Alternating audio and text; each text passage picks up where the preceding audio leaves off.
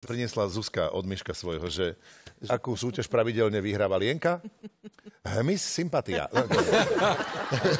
No, Lienka, keď má plné dutiny zase, tak je hlienka. Ale to neviem. Jinka. Mižu, Povyšujeme každý fór ešte na ďalší fór, a veď o to samozrejme. ide. Musíme to nabalovať. Milujeme my. Naozaj sme z okolností taká zostavička, čo milujeme hrať sa so slovami. A, a Miško, Transformer. a Miško Kubovčík je absolútny preborník, majster v tomto. Ale on by, on by si mohol otvoriť slovné hračkárstvo. Spokojne, no, no jasné. Aj k tomu raz príde. Tak určite. takto.